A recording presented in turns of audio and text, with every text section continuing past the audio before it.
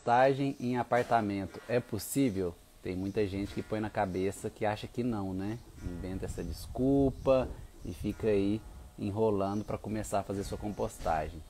Mas vamos ver se isso é possível ou não, ver os desafios, ver os aprendizados com quem faz na prática. Então seja muito bem-vindo e muito bem-vinda a mais uma edição do projeto Adubar Conhecimento, onde eu tiro dúvidas ao vivo das minhas alunas e alunos do curso Compostagem Descomplicada da Ecolabora. Hoje aqui com a presença da minha aluna Daniela, já vou chamar ela para estar ao vivo aqui. Antes só vou mostrar essa orquídea linda aqui, ó, que linda. Colorindo aí o nosso dia. Vou deixar ela de fundo aqui. Então, Vamos lá, vou chamar a Daniela que já está aqui.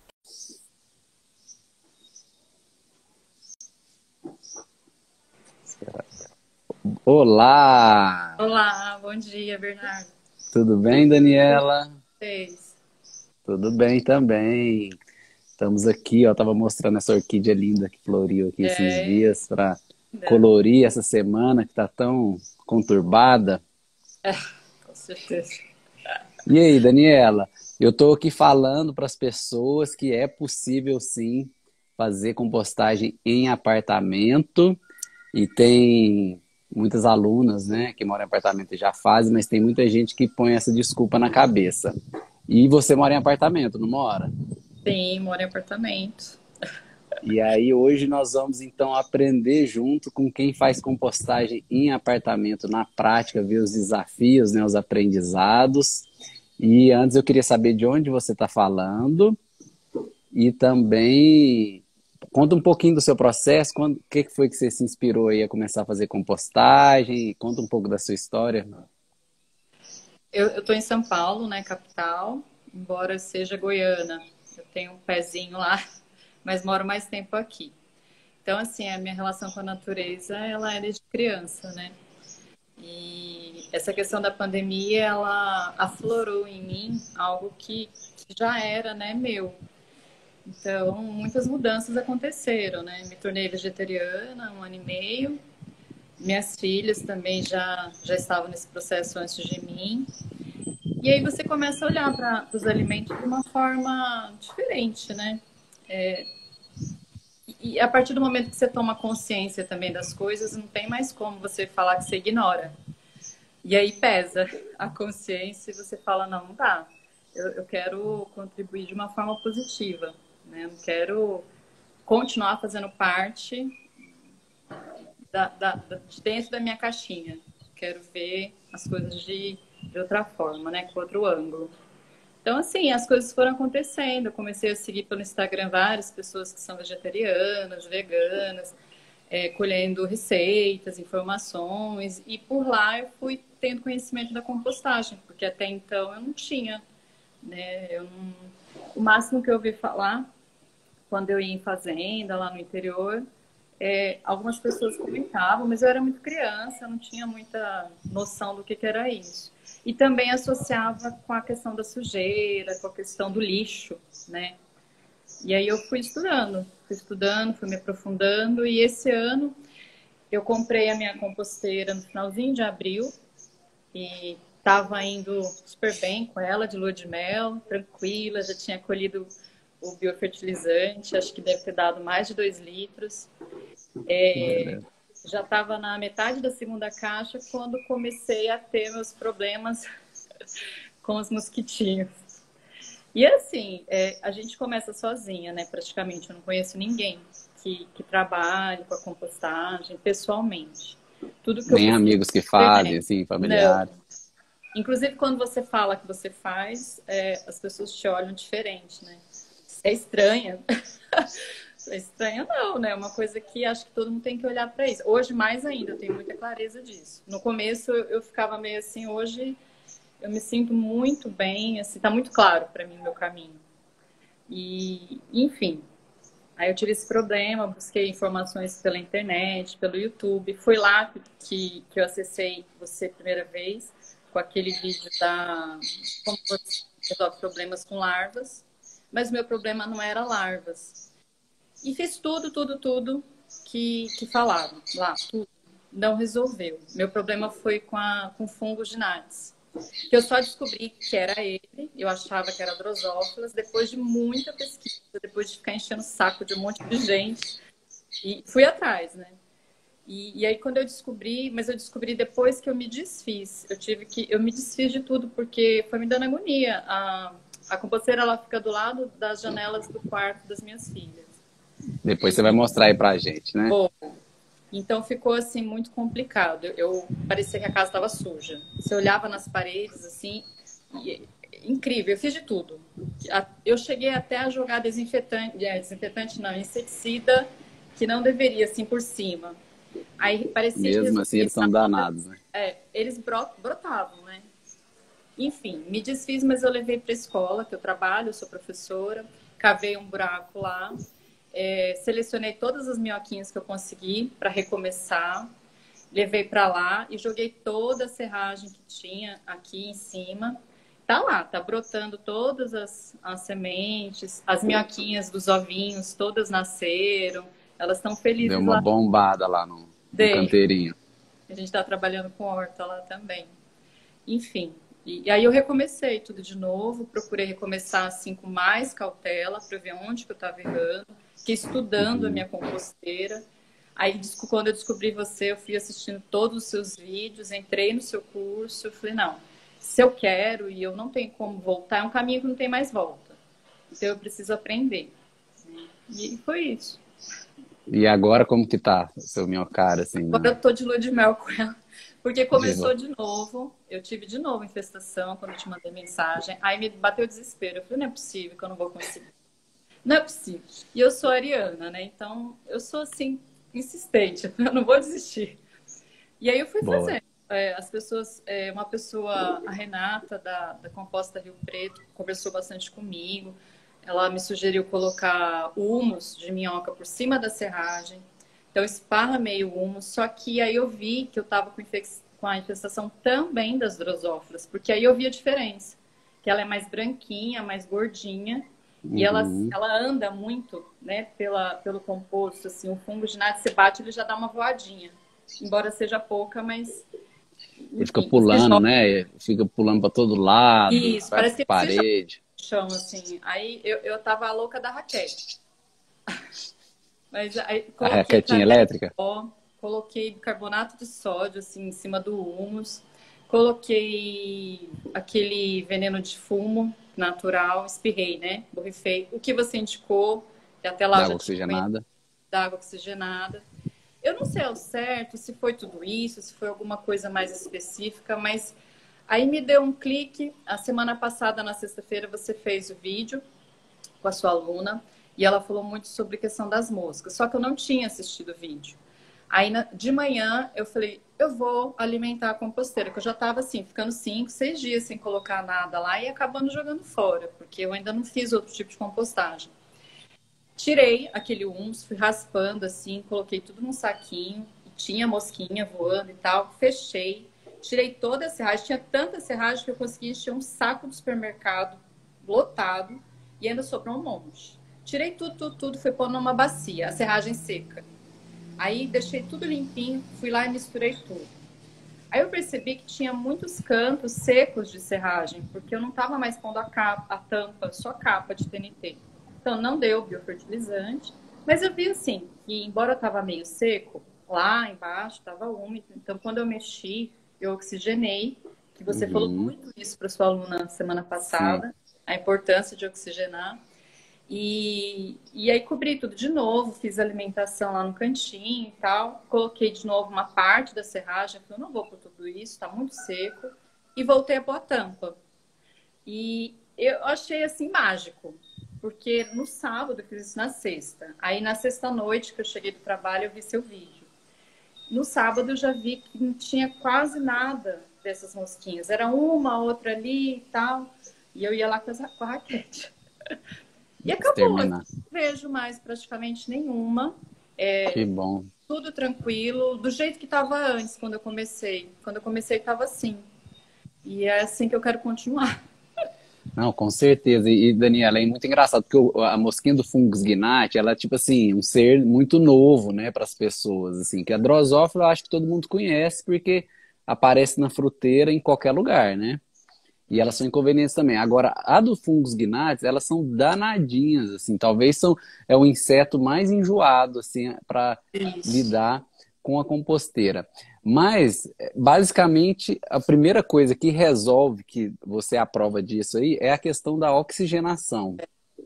Que a oxigenação, ela resolve praticamente todos os problemas né, da, da composteira. Ela é muito importante. E o segundo lugar seria, ah, quando você fez aquela solução de água oxigenada, você viu alguma diferença ou não? Nos primeiros dias, não. Eu levei, acho que em torno de uns 15 dias, 10 dias para o processo acontecer. Desde quando eu comecei a aplicar tudo isso até o final que eu vi que resolveu. Eu, eu vi uhum. que foi, uhum. foi, diminuindo, aí eu fui percebendo que não tinha só fungo de Nax ali, ao contrário da outra vez, só era fungo de Nax mesmo. E aí eu falei, não, mas não, não tem nada exposto. Tinha tanta serragem, eu usei acho que dois pacotes daquele. Uhum. Sabe que é prensada, né? Uhum. E, enfim, tinha muita serragem. Então, eu até associei assim, eu falei, eu acho que tá seco demais e o cheiro da, do que tá lá embaixo deve estar tá atraindo eles. Aí eu coloquei também, tá lá até, você vai ver uns algodões, é, eu pinguei óleo essencial de capim, cidreira, uhum. de alecrim, que a minha citronela já tinha acabado, porque eu também já usei tudo que tinha, borrifei, borrifei com água. Assim, foi a louca da. Não, mas que bom que você, que você tá nessa pesquisa aí. Sim, é. Quando eu entro numa coisa, eu entro pra, pra ir Porque frente. assim, né? Não tem como, né? As pessoas, eu falo assim, pô, é super possível fazer compostagem em apartamento também, em espaços menores. Mas você precisa querer, né? Você precisa querer, porque esse, esse primeiro, eu sempre falo, esses primeiros três meses, quatro, o primeiro ciclo né, da, da sua composteira, ele vai vir com esses desafios. Não tem como não vir, é tudo muito novo. Tanto para esses seres que tem uma, um lar novo ali, que é o minhocário, né? Quanto para vocês, né? Para nós seres humanos que estamos. A, a, própria casa, todo mundo está se adaptando ali. E é, outra sim. pergunta, você tentou mudar de lugar um pouco, onde. Depois, se você quiser mostrar aí para a gente já, para a gente ver onde que ele está. Eu te mostro. Mas ele está no melhor lugar da casa, porque ele está num corredor da minha sacada do apartamento. É, lá são folhas de vidro que cobre a sacada quando está vento ou chuva. E lá onde ele fica tem uma porta de um canto e outra porta do outro, né, da sacada, do vidro da sacada. Então ali fica sempre aberto, sempre mantenho aberto para ela. Ventilação, tá. tá. Tá ruim eu ponho alguns vidros para fechar, mas consigo abrir mais para frente para garantir. Então, assim, tem ventilação, não bate sol. O sol da manhã uhum. bate pouco, até umas 10 da manhã, mas naquele canto não chega a bater. Então, uhum. ela realmente, ela tá... Eu estudei bem, assim, o lugar onde eu ia colocar antes de fazer minha compra. Eu comecei a, a ver isso ano passado e eu morava em outro apartamento. Eu mudei para cá em fevereiro. Então eu falei, quando eu mudei, eu já mudei com esse propósito. Eu falei, só já vou me organizar pra... e vou começar. E o que me incentivou foi assim, se eu vivi bem com ela um mês e meio, logo que eu comecei inexperiente, por que, que eu vou desistir? Eu já estava com a prova de que dava para eu conviver com ela tranquila, né? Assim, ter uma relação equilibrada. Aí depois de tudo aquilo foi uma dor de cabeça sim, pensei em desistir, fiquei muito desanimada. Mas aí depois de um tempo respirei, Aí eu fico escutando vocês, né, outras pessoas que eu acompanho, falo, não, não vou desistir. É, não é assim, vamos recomeçar. É, Boa. É, assim, né? Você quer lá? Não, normal. Oi? É, quero que você me mostre. Mas assim, normal, como tudo na vida, né? Igual eu, eu, costumo até comparar, por exemplo, você vai aprender a andar de bicicleta, você toma uns tombos no começo, você vai aprender a nadar no começo, você toma uns caldos, é normal, né? Esse processo de aprendizado de algo que é relativamente novo, né? não é novo, mas para o meio urbano é, é, recente que as pessoas estão tendo aí mais coragem de fazer compostagem, né? de entrar nessa aventura abundante de vida.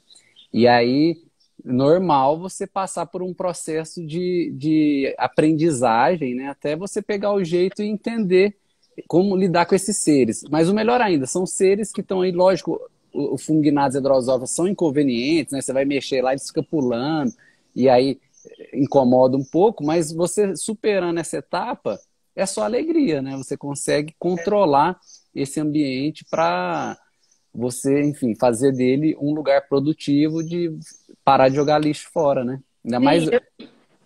Desculpa. Não, é, por exemplo, eu acredito que você que se tornou vegetariana recente percebe a quantidade de resíduo orgânico, né? Que, vai, que aumenta, né? De cascas, Sim. de fruta, fruta, né? legumes. É.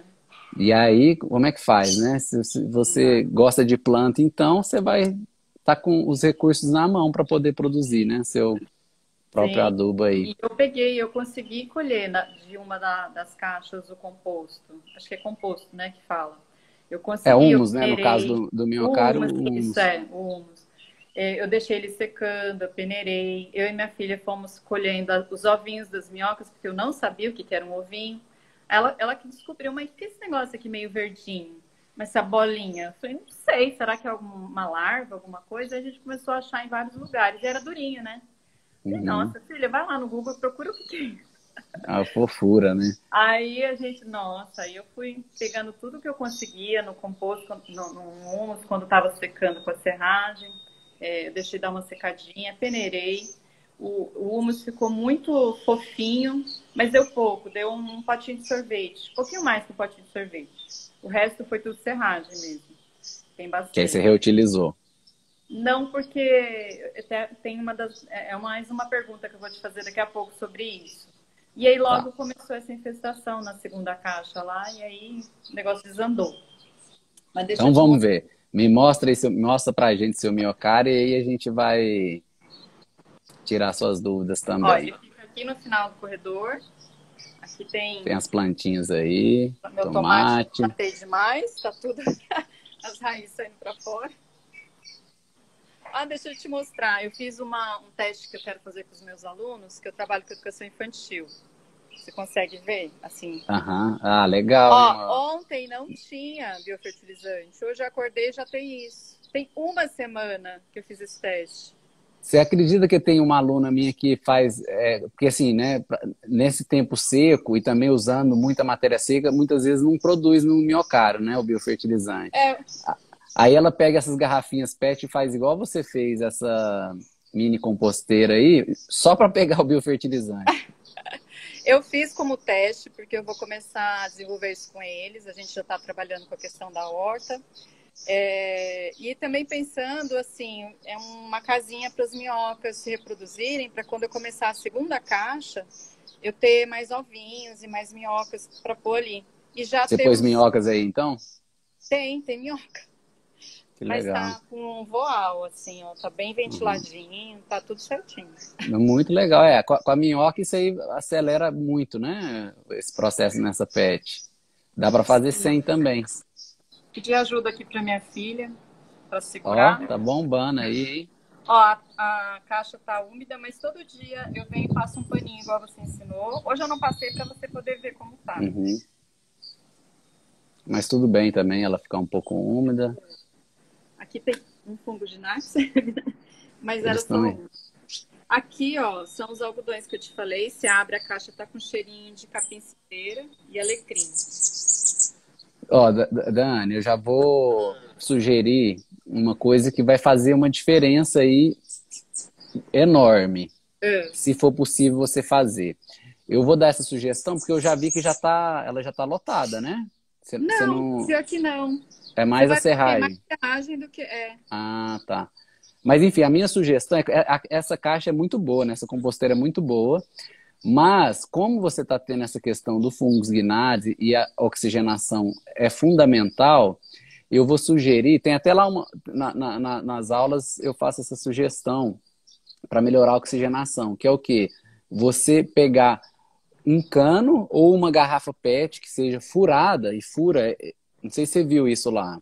Eu vi, mas eu fiquei com uma dúvida. É, ah. Se eu colocar isso, no, o fungo de Nates, o drosófilas, não vai ter um acesso mais fácil para pro, pro... Dentro, pelo, pelo dentro. Olha, nunca é. vi isso acontecer. Geralmente o que acontece lá dentro, lógico, assim, se ele poderia voar e. e, e... É, eles são capazes de coisas que eu nem imaginava.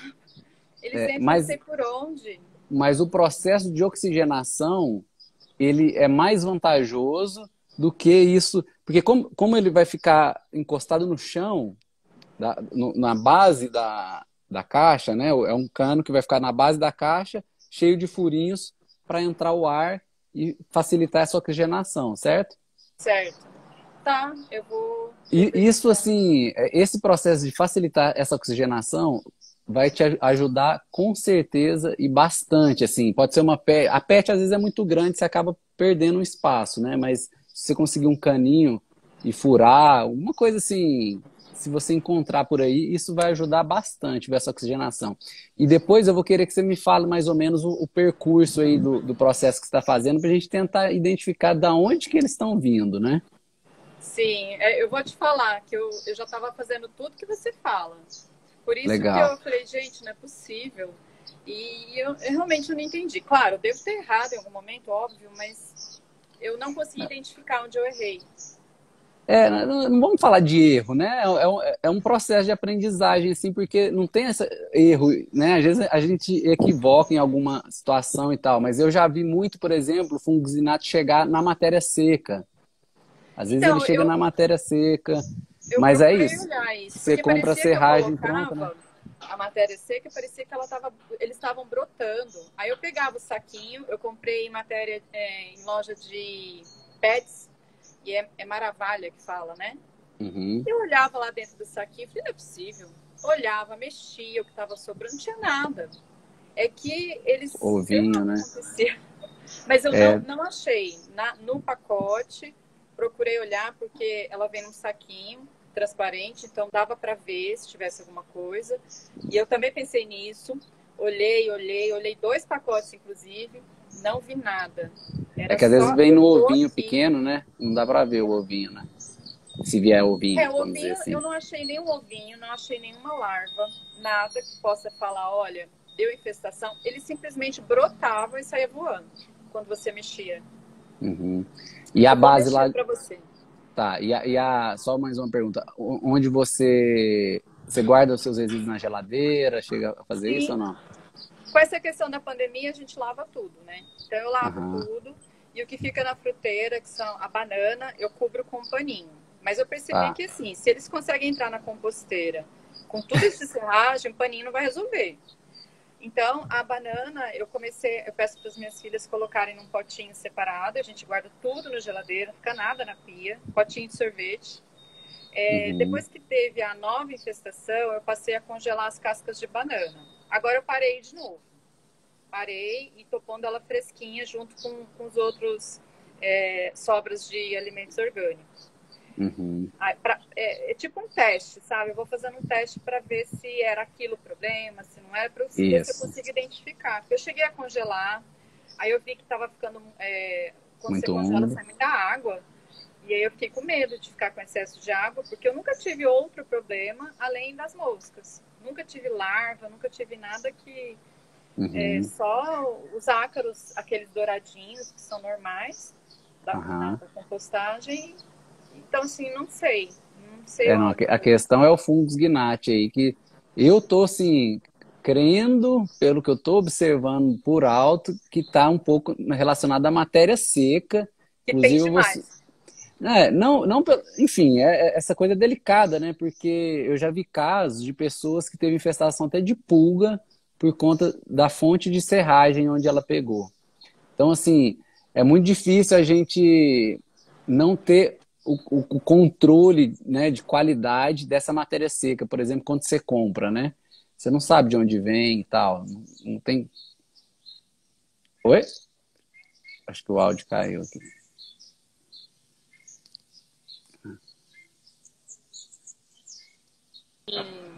é, aquele, aquelas substâncias né, que não pode ter. Aliás, foi por isso que eu resolvi comprar lá, porque eu fiquei com medo de na. Uhum. Eu fui em algumas marcenarias aqui próximas para pedir e a maioria delas me falou que tinha MDF. E eu falei, quem é que vai me garantir é, que de repente um xixi de gato, alguma coisa assim? Eu não sei, não, não tô lá para ver, tem dúvida. Eu falei, eu prefiro gastar um pouquinho mais, que também não é tão caro, eu pago acho que cinco reais, alguma coisa assim. E dura bastante desde que não tem esses problemas, né? Isso, então, mas a minha sugestão, assim, eu tô achando ótimo que você está de parabéns, assim, de estar tá buscando essa solução, né? Fazendo todo passo a passo direitinho. Mas eu vou sugerir, em algum momento, se for oportuno para você, experimentar outra matéria seca. De outra marca? De outra marca, ou uma folha seca, enfim, para você. Isso, isso para o aprendizado do processo é muito rico, para você entender melhor e poder dar um cheque para ver se essa é um, se esse lugar, essa, essa serragem que você está pegando, po, possa ser ou não o, a questão, entendeu? O problema, só, né? É, só para você avaliar, porque você tá tão certinho, tá vendo, tá fazendo tanto passo a passo certinho, ainda tá acontecendo. O, a questão do, da, da oxigenação já vai ajudar, assim, bastante, para não falar que vai resolver, né? Mas se continuar, aí eu vou sugerir você dar uma observada nessa questão da matéria seca aí, só para desencargo de consciência, sabe? Porque às vezes é, é isso, né? Um ponto que a gente não está não tá conseguindo ver, ou, ou que uma coisinha que você muda faz completamente a diferença, né? Então, essa, essa forma que você está fazendo de, de ir testando, né, para até encontrar a raiz do problema, ela é fundamental, porque quando você encontrar, aí já era, né? Aí você resolveu Sim. e aí é, é, é bola para frente. Então é importante a gente observar esses detalhes. Igual eu falo da questão da, da posição do, do, do miocárdio. Às vezes, eu costumo falar que às vezes 30 centímetros para o lado já, faz, já é uma mudança que acontece. Lógico, né? Que nem às vezes é mais e tal, né? 30 centímetros é só uma, um exemplo, porque eu já vivi isso muito, de pôr ela um pouquinho para o lado ali, um sol que entrava já parou de bater e as coisas começam a melhorar e muito rápido. O mais legal é isso, cada mudança que você faz é muito rápido a percepção do, do, do resultado. Se vai melhorar ou se vai piorar. No, meu, no outro dia você já vê. Foi instantâneo praticamente. Nossa, foi mágico. É muito rápido, né? Impressionante. Nossa, de um dia para o outro, fez, Responde muito. Responde muito. Então, assim, esses detalhezinhos, poxa, você já fez tudo e o negócio ainda está acontecendo. Aí a matéria seca, assim, né? Lógico que teoricamente, quando você compra, a, a matéria seca ele está ali em tese de qualidade e tal, mas não dá para a gente saber direito, né? Você não sabe de onde que pegou, como é que estava lá, se foi ensacado, qual que era daquele momento. Não quer dizer que do lugar é ruim, mas desse, desse dessa leva, por exemplo, né? Pode estar tá trazendo isso. Então são detalhezinhos que a gente vai identificando e se tiver a oportunidade de mexer, é muito rico, porque você vê o resultado. Lógico, tem coisa que você pode falar, não, piorou, né? Às vezes muda o, o miocárdio de lugar, fala, não, aquele outro estava melhor, aí você volta. Mas esse processo de, de, avaliação, ele é fundamental até você pegar o jeito da coisa, que aí não tem mais erro, né? Vamos dizer assim. Teste. A, a, hora que acabar o que eu comprei, que tem um pacote e meio. É, não, acho que dois, porque tem um na caixinha aqui já. Aí eu vou ver se eu começo. A não ser que comece de novo a infestação, aí eu já troco. Senão, eu vou esperar acabar e eu vou trocar a marca. E, e, e esse lance de pôr, olha, é, borra de café ou mesmo o composto, né, que você falou que pôs também, isso ajuda bastante também. Isso e tem bastante, bastante né? café. Eu coloco até o pó para secar num potinho de sorvete. Vou, eu vou mexendo todo dia para ele secar, ele tá seco.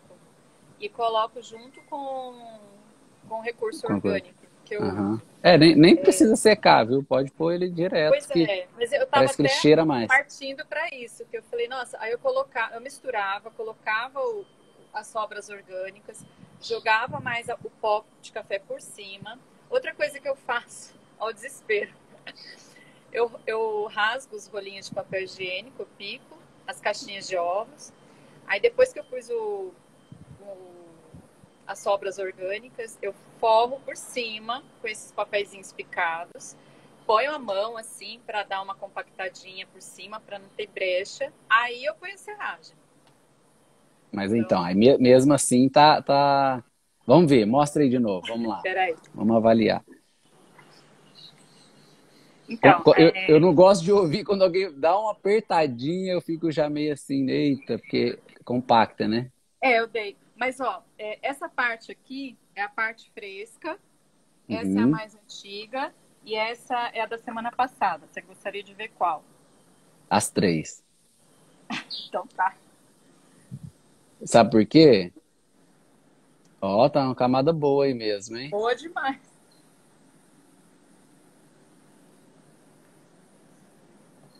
Eu já vou fazer algumas sugestões assim. O que eu acho mais legal nisso, Daniela, é isso. Qualquer, qualquer movimento que a gente faz já gera resultados muito rápidos, né? Sim. Não, essa camada sua tá muito farturenta, tá ótima. Então, mas tinha mais, viu? Eu tirei. Já não cabia mais nada na caixa, só que não tinha comida aqui, não tinha alimentos. Eu falei, gente, desse jeito não dá. Ó, desse lado aqui. Já tá mais decomposto, né? É, tem, mas tem a terrinha. Uhum.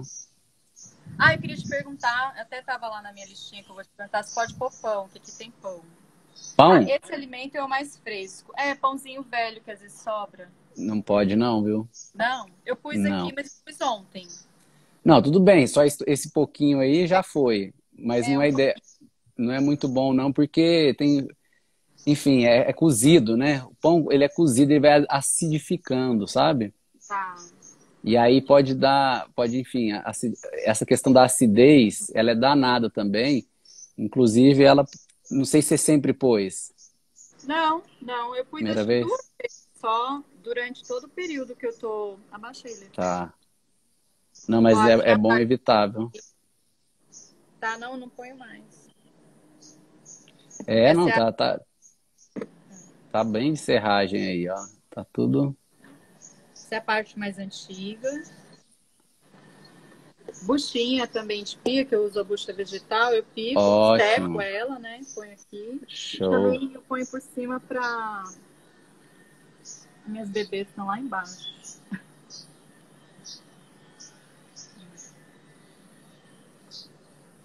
Não, isso aí, pô, tá uma fartura aí de matéria seca, ó, tá bonita a californiana aí, ó. Ela tá gordinha aqui. Aqui é quando ela vai ter bebê.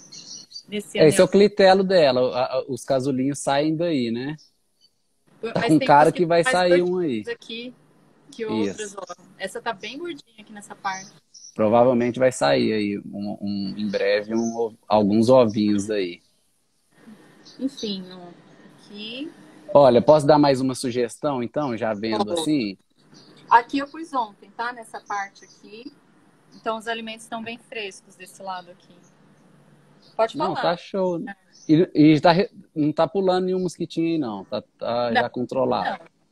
Não. não, tem bastante. Como que você fala o mesmo nome desse negocinho branco? colêmbolo.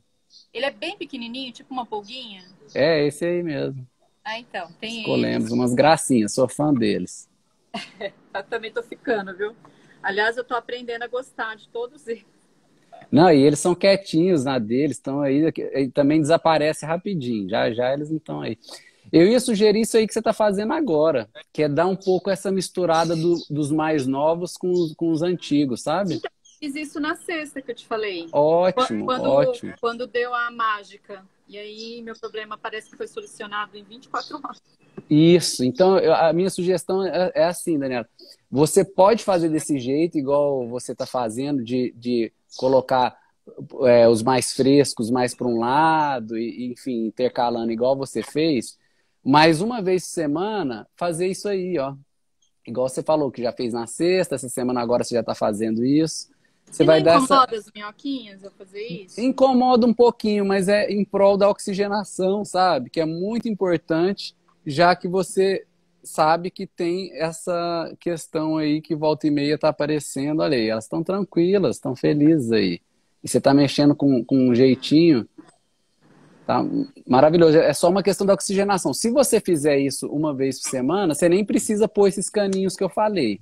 Tá. Agora, se você não quiser mexer mesmo, e, e, enfim, ter um mínimo de trabalho aí, aí você pode pôr essa, esses caninhos para oxigenar que vai ajudar, principalmente aí no meio, né? No meio que não que é mais difícil entrar o ar. E aí você faz isso e tampa de volta, que já tá já tem matéria seca aí, né? Sim, eu não tenho problema de mexer, não. Eu tenho uma relação próxima com ela. E eu gosto sempre de ver se está tudo bem, né? Para pegar tudo no começo, assim, não deixar é, que uhum. cause equilíbrio. Por que que acontece? É, pode cobrir, pode cobrir. É, essa mexida ela é muito boa para evitar compactação também. Então, quando a gente coloca, por exemplo, muita casca de mamão, abacate, e coloca num canto e esquece, quando, dá uma semana você vai lá mexer, muitas vezes ela está grudada, assim, compactada, criando um ambiente sem oxigênio. Aí você, às vezes, cria até um mau cheirozinho. Então, por isso que é bom essa revolvida de leve, igual você fez aí, fazer do outro lado e tal, ver que está tudo ok tampa tudo. Se der, sempre deixa o, o que está mais decomposto por cima, que é como se você tivesse colocado ali o, o composto por cima, sabe? Mas que quando também... mexe, não tem mais como fazer isso, né? Não, só, só se você vê que já tem uma parcela que já está mais, mais, decomposta, né? Você tenta deixar ela para cima. Mas, lógico, vai estar tá tudo misturado ali e tá tudo certo. E a caixa de baixo, como é que tá? A caixa de baixo está vazia, eu só coloquei o humus de minhoca aqui. Ela tá cheio de ácaros, né, que eles caem aí. E ainda não deu biofertilizante, porque eu praticamente comecei a pôr a tampa nela tem uma semana. Eu deixava só uhum. TNT. Eu tava achando que tinha que ventilar. Uhum. Então, é não, tá tranquilo aí. É, isso aí tá tudo certo. É o. Já já você vai para ela, né? Sim, é, mas a, que nem você viu, eu acho que ainda tem bastante lugar assim para comida, mas eu não pretendo encher muito mais, não. Eu acho que talvez mais uma semana. É, não, pode encher, porque essa matéria seca aí, o ideal você vai ver quando. É, tem muita. O ideal é você ir aproveitando ela até ter. Assim, é, é bom ter essa camada, né? Uma camada igual você fez, mas enfim, você pode ir aproveitando essa matéria seca também para ela ainda ela ainda aguenta, né, mais resíduos aí. Sim. Muito bom. Nossa, que bom. Fico feliz que você já passou da primeira fase.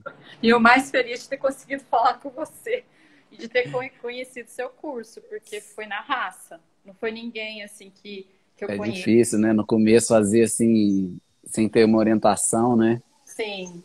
Aí, graças a Deus, deu, deu tudo certo. Assim, tá dando, né? É questão da gente ir aprimorando, ter paciência, porque, aliás, é isso que, que a natureza nos ensina, né? É, com a sua abundância, mas principalmente com a sua paciência, né? Total, é. A gente, a gente tá acostumado. Senão você ia comprar, sei lá, uma composteira elétrica, ia dar o play lá e ela ia, e um dia ia estar tá pronto, né? Aí, poxa, não tem graça, né? Então, é igual não. plantar, ué. Plantar é sempre um aprendizado. Cada planta vai sair diferente. Você vai pôr água, vai ter que cuidar.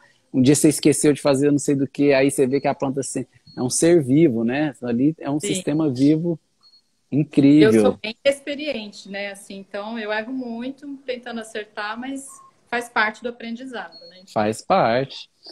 E, e Dani, então vamos lá. Tem mais dúvidas aí? Eu Tem... tenho. Quanto tempo Boa. gente você vai me Não, vou... tá, mas eu vou tirar todas as suas dúvidas aí. Vamos sair daqui então, cheio de aprendizados. Você vê que deu horário, porque às vezes eu me empolgo. Tá. Bom, é, primeiro eu queria te agradecer, né, por essa oportunidade, porque é, eu acho que a gente precisa de um apoio, né? Aliás, tenho certeza, né? Mas às vezes a gente precisa buscar esse apoio, porque às vezes ele não vem até você se você não for atrás. Então, eu agradeço. E se eu for perguntar, provavelmente eu vou perguntar coisas que você já tenha falado no curso ou nos vídeos, mas a gente geralmente só olha para aquilo quando você está passando por aquela experiência. Porque às vezes é muita informação e você só consegue pegar o que você está precisando naquele momento. Então, me desculpe é se eu vou informação. perguntar coisa que você já, Não, já tudo tinha bem. Sobre os alimentos, né? A gente já conversou a, a, da origem é, tudo lavado, guardo na geladeira. Tudo que não precisa ir para a fruteira já fica na geladeira. E as da fruteira eu lavo de novo, com exceção da banana, que minhas filhas. Eu até lavo quando eu vou comer, mas minhas filhas não têm muita paciência para lavar. Então a gente põe num potinho separado. Por enquanto eu estou fazendo isso, mas eu estou começando a pôr de novo é, ela fresquinha junto com o potinho. É um potinho de sorvete de 2 litros e eu uso a cada, eu coloco mais ou menos na composteira a cada um, um dia sim, um dia não, ou a cada dois dias. São muitas frutas que a gente consome aqui em casa.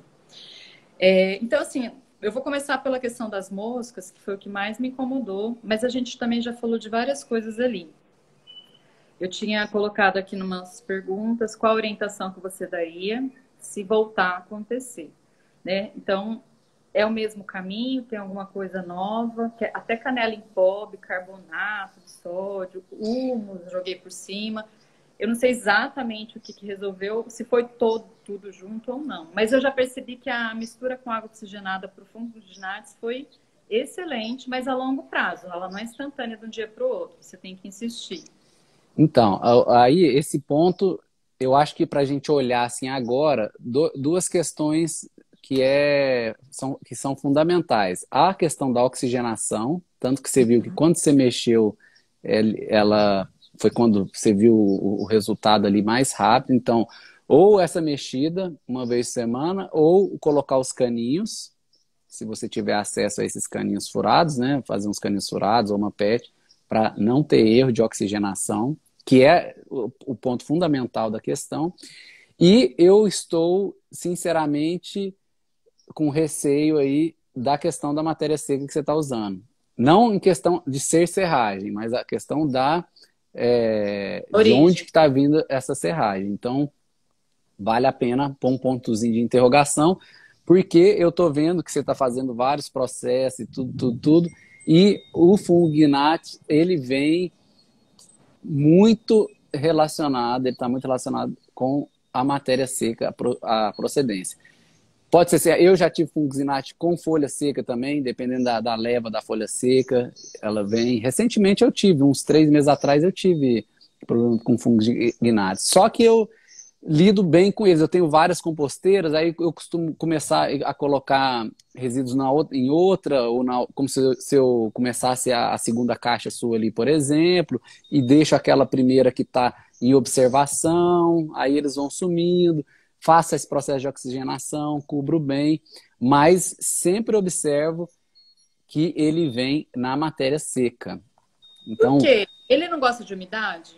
Ele gosta de umidade, mas é, é, me parece assim, é uma coisa empírica, viu? Que eu vou te falar assim, não tem é, realmente o funginates, ele é se você for procurar aí, você vai encontrar muito um, uns adesivos que as pessoas colocam para ele grudar e tal. Né? Uma, essa é a forma de controle.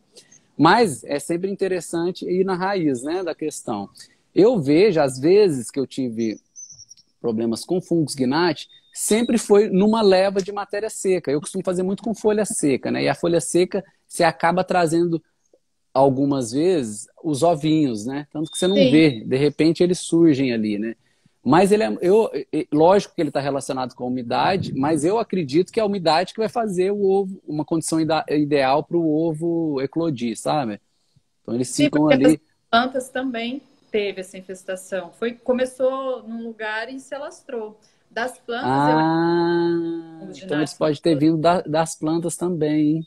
Então, e, e eu tenho, eu procurei na internet, né, a, sua ideia da oxigenada e vi também que a gente pode pôr nas plantas é, uma vez por semana. Então, agora eu diminuí, acho que eu tô pondo a cada 15 dias.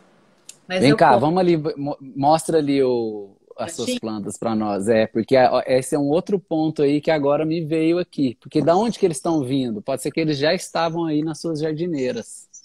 É, aqui, aqui eu tenho. Aqui são só nada de comer, não. São plantinhas. Mesmo, são... Ornamentais, tal. É, estão começando. Aqui é a minha samambaia. Maravilha. Aqui é a minha renda portuguesa que eu podei ela todinha em agosto. Falaram que é bom agora. E ela está começando a brotar. Boa. E aqui é onde eu estou fazendo minhas experiências, né? Que Aham, os tomatinhos já tá florido. Isso. Eu pus terra, não tem nenhuma semana, as raízes estão saindo para fora. São até um pouquinho, uhum. parece coloradas.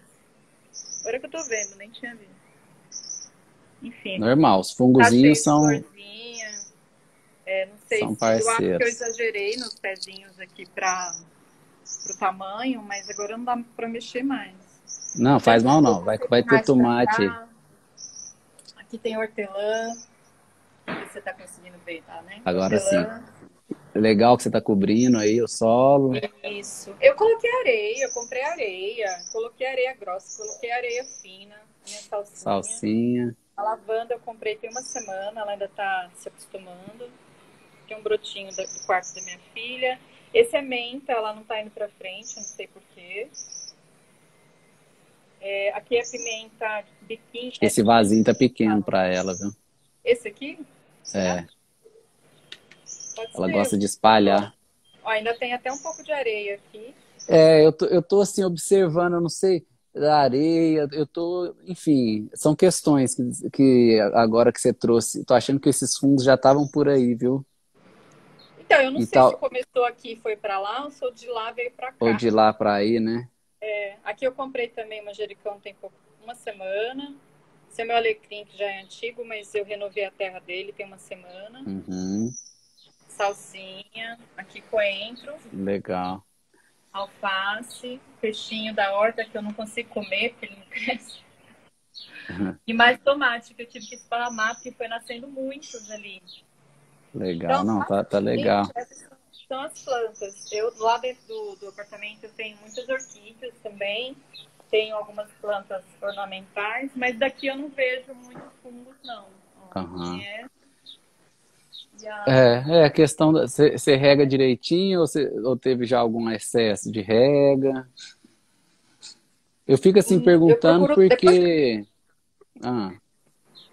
depois desse problema aí, eu comecei a ter bastante cuidado, né? Assim, Sim, eu, eu, reconheço que em alguns momentos eu, eu achava que estava pondo água suficiente, estava em excesso. E é difícil também cuidar de planta, né? Tem umas que gostam de mais água. Gosta de mais, outras de menos. O tempo da gente às vezes é curto, porque eu trabalho fora, cuido de casa, enfim, muita coisa. E, e a gente vai tentando acertar, né?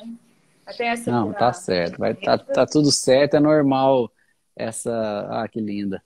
É normal é. esses desafios no início mesmo, mas é só ter persistência que já vai resolver e aí você já vai pegando esse jeito. Mas vamos todo voltar então lá para as dúvidas. Bom, todo dia eu vou ali nas plantas com a raquete, dou uma mexidinha, o que vou, já vou lá. Faz o limpa. Estou tentando assim, e tô pondo água oxigenada, né, misturada com água, para ver se tiver alguma larva deles na terra, para ver se já acaba. Mas vamos lá. É, então, o fungo ginátis, ele se alimenta de, dos ácaros da composteira, aqueles douradinhos, porque eles não, andam cada um... por todo lado, né? É, não, eles ficam ali se alimentando do, do da, da parte úmida mesmo dos, dos, dos resíduos ali, dos né? Resíduos. Os nutrientes, então, não, minerais. Não são os ácaros que atraem eles. Não, não, tá. não, é mais a questão da umidade mesmo. E isso era uma dúvida também, porque eu fiquei com uma coisa na cabeça. Depois que eu peguei a primeira, o primeiro humus e coloquei nas plantas depois de um tempo, e o biofertilizante que eu comecei a usar quando estava dando, eu tive a impressão que foi daí que começou essa infestação. E aí eu não sei se porventura aquele humus precisava estar tá mais maturado, que você fala, né? Mais maturado, é, ou se ele por si mesmo, o humus, atrai os fungoginantes, que eles gostam, é, e o biofertilizante. Essa é uma dúvida. Se o humus e o biofertilizante atraem fungoginantes. Olha, o humus e o biofertilizante, em tese, não, mas a questão da umidade, né? O humus é úmido e o biofertilizante é líquido, né? Então, é úmido. É mais a questão da umidade em si, ou seja, se você coloca em muita quantidade, se ele está compactado, isso vai atrair principalmente é, é, o excesso. Qual que, qual que é a cadeia da umidade ah, problemática? É que o excesso de umidade causa um processo de anaerobiose, que a gente fala, né, que é quando acaba o oxigênio e começa a fazer uma fermentação, aí começa até a dar um mau cheiro, que é isso que vai atrair os bichinhos. Então, o excesso de umidade. Não, nas plantas também, qualquer lugar que tiver compactado. Isso. Por isso que você põe areia na, no substrato, para não deixar aquilo compactar, para ter uma porosidade para a água passar e não ficar acumulada. Entendeu? Por exemplo, quando, quando não se põe é, areia, corre o risco de compactar, ficar aquele torrão de terra assim duro. Aquilo Sim. também atrapalha na oxigenação e tende a compactar. Então, tudo que. Hã? Desculpa, pode falar. Não, é isso, não. Tudo que tem excesso de umidade vai ter problema de oxigenação ou compactação, que aí causa acidez, aí desencadeia uma série de, de probleminhas, inclusive atraindo fungos gnat. É, eu tenho mexido ou... na terra, estou fazendo uma troca também aos poucos, porque eu tinha comprado uma terra que eu achei que ela estava virando tipo uma lama. Era aí. Uma terra mais vermelha, não era uma terra preta. Certo, mais, mais argilosa, né?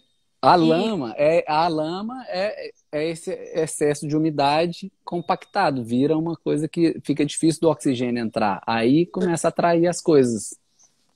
Eu estou fazendo já troca, aos pouquinhos eu estou mudando. É... O material da composteira, quando tem infestação com a drosófila ou com fungoginates, mesmo que você tenha controlado, assim, é possível que aquele material pronto, humus pronto, tenha ovos da drosófila e do fungos, e aí eu vou pôr na planta, vou regar e vai recomeçar esse ciclo? Olha, muito difícil se o humus já estiver pronto. Tanto que, por exemplo, você vai ver quando você descer essa caixa e vai deixar lá mais um mês para ele ficar realmente, é, os, os, resíduos tornarem humus mesmo, você vai ver que vai sumir ácaro, vai sumir colêmbolo, vai sumir mosquitinho, vai, vai sumir tudo, que vai ficar ovinho de minhoca, minhoca, e às vezes aparece uma, uma tesourinha, né, que é aquela, uns insetos que são, a, a gente chama de mesofauna, que são esses insetinhos maiores, gongolo. Agora, esses pequenos aí, já não tem, já não é um ambiente favorável para eles estarem. Então, tá. é muito mais fácil eles estarem na matéria seca que se retirar. Se você for então, peneirar, por exemplo. Está na questão que você tinha perguntado, né? Que é uma das perguntas que está aqui. Eu coloquei, se a gente, quando tira a serragem de cima daquele composto que já ficou pronto, é, você falou, reaproveita em outra caixa. Eu sempre escuto isso.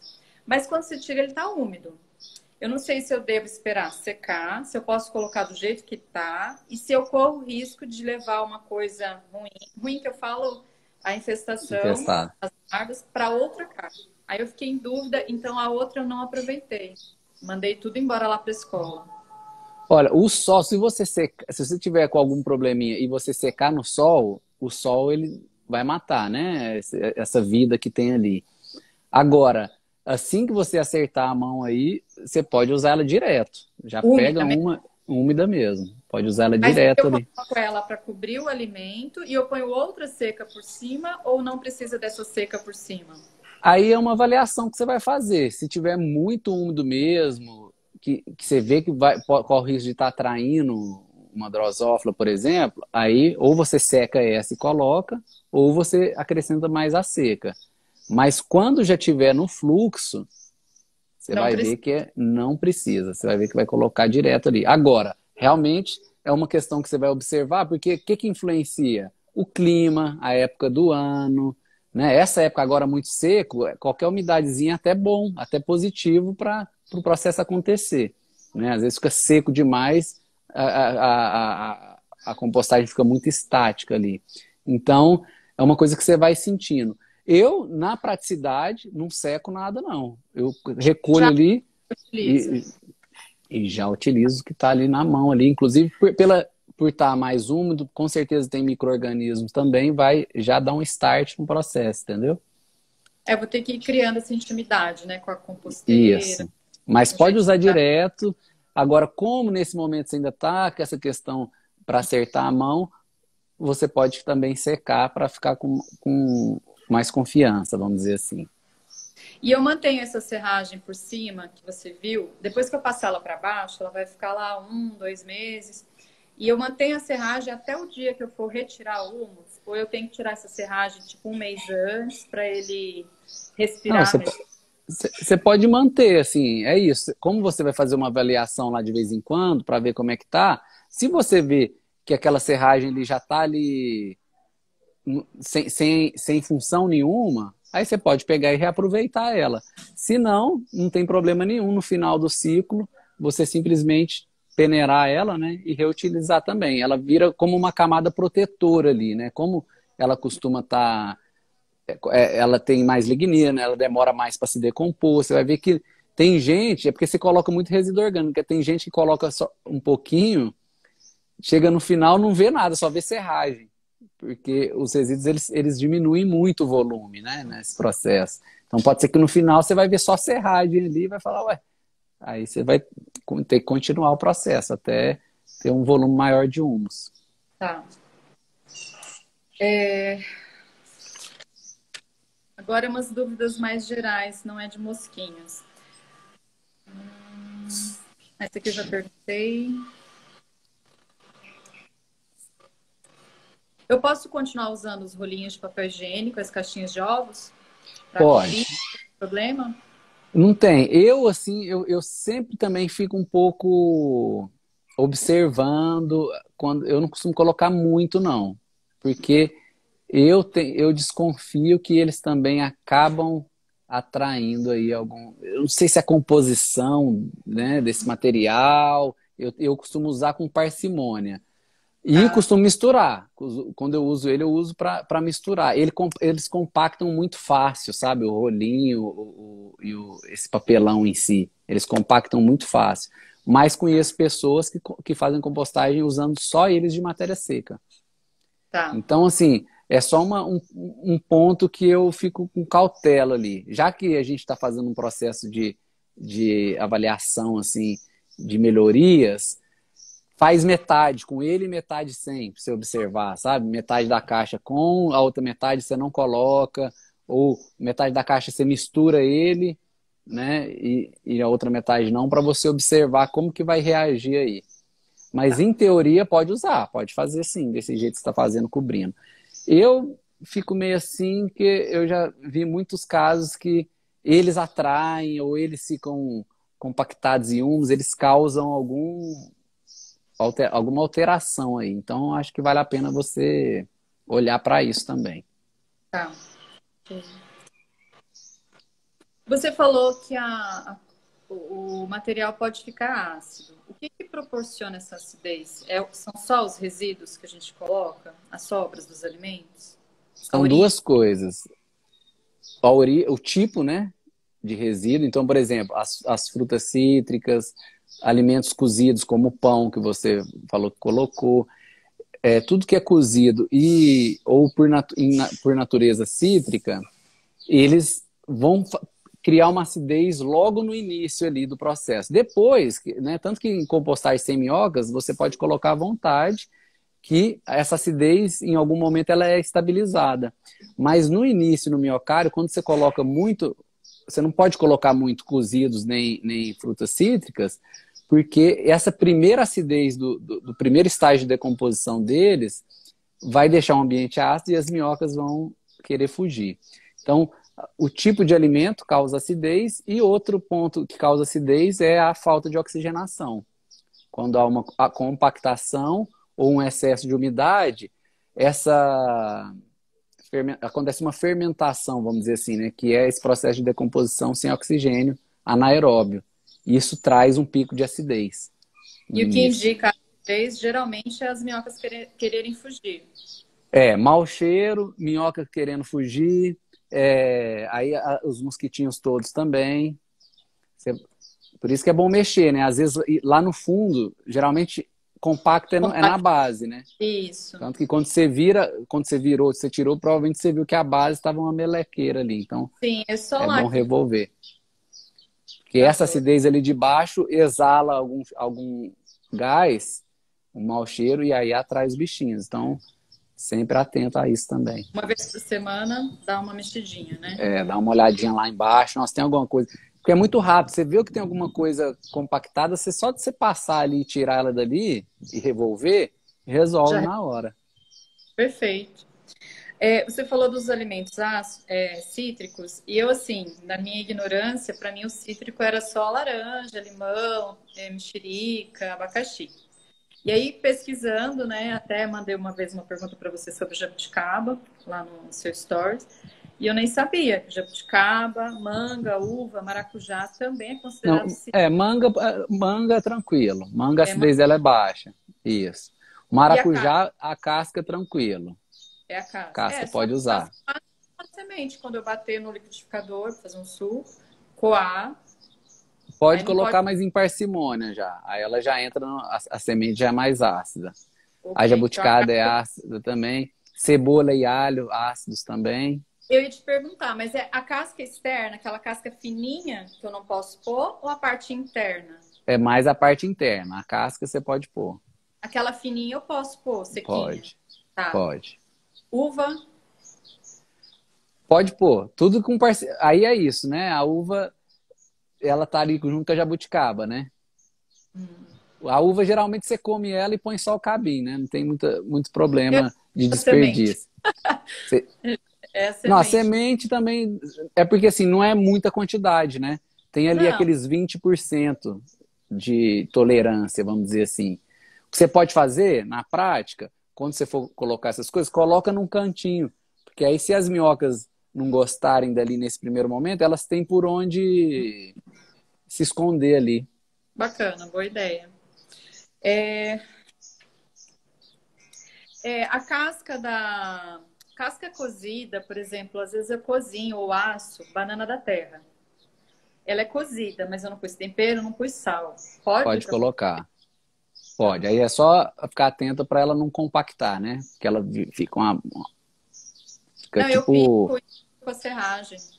Pode, pode colocar. Tá. É, as raízes das verduras hidropônicas, quando eu compro, eu já percebi que algumas, às vezes, eu vejo um bichinho ali, outro aqui. Aí eu sei que poderia ir, né? Ou pode. Até coloquei já duas vezes. Mas eu fiquei com medo de, de repente, ir algum bichinho de lá e dar uma infestação na composteira. Nunca vi.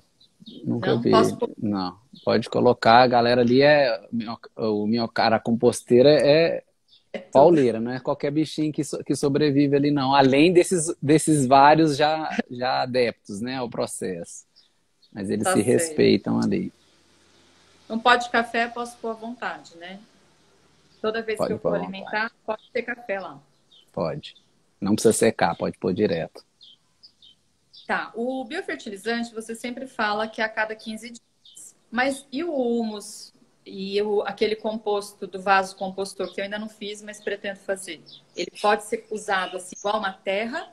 Ou eu tenho que ter também cautela de usar? Para não é. matar é... Então, é, em geral, qualquer processo de adubação acontece nessa média de 15 em 15 dias, uma vez por mês, mas é aquilo, né? Cada planta tem sua exigência, tem umas que gostam mais, umas que gostam menos. Como substrato, você vai o substrato que seria você preparar isso com terra e, areia, né? Você vai fazer isso uma vez e depois você vai repor só, né? Vai acrescentando ali em cima. Geralmente é isso, 15 em 15 dias. Essa é a média, assim, a média geral, né? Lógico que tem planta que precisa de menos adubação, por exemplo, aqui, né? As orquídeas, enfim. É, você pode. Dúvida, porque eu fico em dúvida se ela entra como uma terra ou como adubo. É adubo. As então. duas coisas, as duas coisas. Ela, ela, é tanto condicionadora de solo, ou seja, ela traz essa, essa perspectiva da terra, né, de ser uma base sólida ali, que vai dar estrutura para a planta, como é rica em nutrientes. Então, ela é, é, por isso que eu falo que é um super adubo, porque são vários benefícios que traz, tanto de agregação, tanto de retenção de umidade, tanto de servir de casa para essa vida toda necessária de micro-organismos, que, é, que são seres que vão é, digerir esses nutrientes para as plantas. Então, você pode usar ele. Tem gente que usa como substrato, né, que é para você plantar em cima. Tem gente que usa como adubação você colocando, por exemplo, em cima da planta, como se fosse uma cobertura de solo, né? Depois você cobre com matéria seca e aquilo aos poucos vai sendo disponibilizado para as plantas. Então você pode usar como substrato, sim, para plantar direto ou como adubação posterior. Tá ok, então. É, como que, é, em que momento eu tenho que me preocupar com a temperatura da, do minhocário? Por exemplo, aqui de fora tá, vamos supor, 30 graus. Aí eu já tenho que começar a me preocupar com ela. Como que funciona? Fazer aquilo que você ensinou, de pôr a, a, o gelo né, na garrafa, pet. Olha, isso aí é só quando você um dia, se um dia acontecer de, de você ter alguma questão com a temperatura, o, como que vai, você vai notar isso? Lógico que você poderia ter um. Tem gente que coloca um termômetro É, lá tenho. dentro para observando. Não precisa fazer isso. A composteira vai te indicar que a temperatura está alta quando você vê muitas minhocas na, na, na, muitas, não é uma ou outra passeando, não, que isso é normal. Agora, quando você vê elas unidas numa rebelião em volta, isso vai acontecer provavelmente em dezembro ou janeiro. É, tá chegando, se, se você vê é, é, elas bolando uma, uma rebelião ali, aí você coloca os gelinhos ali em cima, tá. a garrafa PET, que aí isso vai ajudar, oxigena e tal. Mas. gelada, né? Isso, mas assim, a sua, a sua composteira é grande, ela tem assim bastante espaço. Acredito que não vai acontecer, não, viu? É só se tiver realmente um, um calor excessivo aí que você vê que a indicação vai ser essa: as minhocas querendo fugir em bando. Aí você coloca os gelinhos ali nos cantinhos, você vai ver que elas também se acomodam rapidinho. Ok. É, é melhor eu manter ela com a tampa original ou com TNT? Aí é uma observação que você vai ter em relação a esse excesso de umidade ou calor, excesso de calor. Então, para você trocar a tampa de TNT, porque a sua composteira já tem os furinhos nas laterais é. superiores, né? Em tese, não precisaria. Agora, você vê que está muito quente, aí é isso, né? O indicativo de muito quente é talvez as, as minhocas surgindo, excesso de umidade, aí começa a dar as, a, as drosófilazinhas e tudo mais. Aí você troca por um TNT. Eu vou falar assim, particularmente, não uso TNT. Tem muitas alunas que usam TNT por uma questão de excesso de umidade e de temperatura. Que aí ele ajuda muito o fluxo de ar, né? Tem gente que fura a tampa. Então, assim, eu não costumo fazer isso porque eu faço o controle da umidade de outra forma, né? Que é revirando, sempre preocupado com a oxigenação ali. Nunca, tive, nunca precisei pôr um TNT, não. Em baldes, geralmente as pessoas que fazem composteira em baldes, aí o TNT é bem mais eficiente, é bem mais tá. útil. Mas aí você é, pode observar, o dia que tiver muito quente. Oi? A minha estava ficando muito seca, porque eu deixei com TNT quando eu vi os mosquitinhos. Olha o tanto que é eficiente. É, mas não, mas não resolveu. Porque assim, o TNT não segura essas mosquinhas. O, o fungo de Nardes, ele passa pelos buraquinhos do TNT. Eu comprei Nossa. voal, mas eu ainda não, não, fiz, assim. Eu até vou pedir para minha mãe se ela... Comprei o elástico para ver se ela faz uma capinha, mas pensando mais no verão. É, porque eu acho que ali não vai passar, mas no uhum. TNT passa. Então era só para oxigenar mesmo. Isso, o TNT é para oxigenar. Questão, o uso dele é para isso, para diminuir a umidade, aumentando a oxigenação. Qual é o nosso tempo, Bernardo? Uai, vamos dar uma acelerada aí. Já, já estamos chegando na hora do almoço aqui, mas vamos, vamos que é, é, é um prazer estar tá auxiliando. Ó, as minhas dúvidas em relação à composteira, você tirou todas. É, eu tenho algumas em relação ao vaso compostor, mas assim, é uma coisa que dá para aguardar é, que a maior preocupação eram os furos que você indicou para fazer no, no baldinho lá, que eu até vou fazer provisório, do jeito que você indicou lá no vídeo do curso. Uhum. Mas eu fiquei com medo desses furinhos, as mosquinhas entrarem lá dentro. Era a mesma questão. Aí eu ia te perguntar, se embaixo, onde você falou que eu posso, a gente pode pôr argila expandida ou gravetos, se eu posso furar mais ali e mais em cima, como é na composteira que eu tenho e não furar no meio. Pode, fazer, se... você pode fazer esse experimento. Aí, se você furar embaixo, você tem que só ter um cuidado, igual você fez com essas garrafas PET, para você poder coletar um excesso de umidade que pode cair ali. Tá. Entendeu? Porque se furou embaixo, a umidade vai escorrer ali e vai pingar, certo? Certo. Então você precisa ter algum recipiente para coletar isso ali. Se tá. você não quiser furar embaixo, para não precisar ter esse recipiente, você pode furar em cima e garantir a oxigenação furando, né? Fazendo aquele furo Sim. que eu indico. Pode fazer esse experimento. Pode fazer esse experimento. Os furos nas laterais é para você ter menos trabalho, vamos dizer assim, para naturalmente o processo Já. ter um fluxo de ar. Okay. Mas, mas dá brecha para os mosquitinhos mesmo. Se, se você não cobrir bem a lateral ali com matéria seca e deixar resíduo orgânico exposto, vai dar. É, foi o que eu pensei. Eu falei, eu cubro em cima, cubro embaixo, mas tá tudo cheio de furinho, eles vão entrar tudo pelo meio. É, aí você pode fazer uma parede de matéria seca. Mas é que o, o aquele que você sugeriu lá de garrafa de água. É só o é sanduíche, né? É. Não e a camada com, a, com, as sobras de alimentos é, tem que ser mais fina e vai intercalando igual você ensinou lá no, no vídeo? Ou pode ser grossinha e tanto faz? A gross... Tanto faz, mas a grossinha tende a compactar. Tá. Então, o que você pode fazer é misturar a matéria seca ou inóculo ali para não deixar compactar, mas pode ser grossinha também. Tem gente que faz em balde de 20 litros, aí tá. vira quase que um método Lages, vamos dizer assim. Sim, eu estava vendo o seu vídeo com, a, com o professor. Achei fantástico, mas eu não terminei ainda de ver.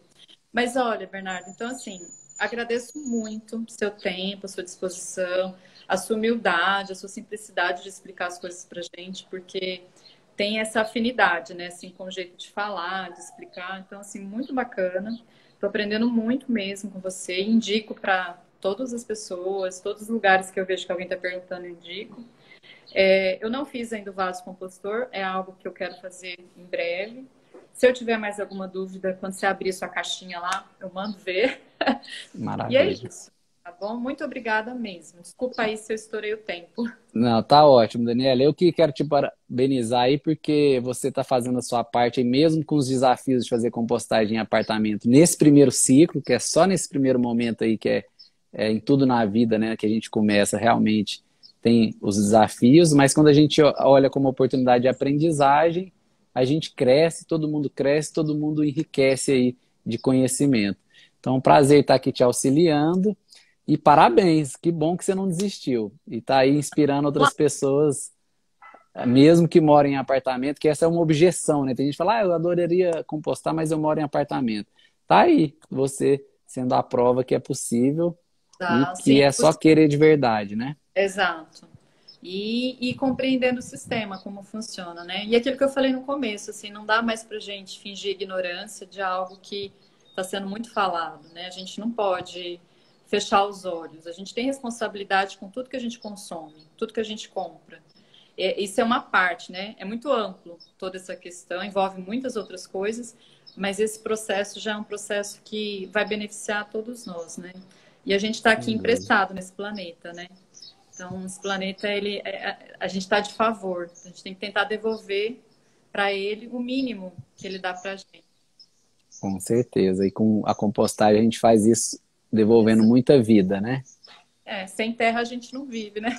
E ainda colhendo, né? Ainda ganhando esse tanto de benefício aí. Então, é, é, realmente é muito abundante essa, essa dádiva da natureza, né? É só a gente querer ter o conhecimento certo e pôr a mão na massa. Isso aí. Maravilha. Um ótimo final de semana para você, sua família. Obrigada por Idem, para você também. A gente Obrigada. se fala aí, grande abraço. Bora compostar. Vamos lá. Tchau. Tchau.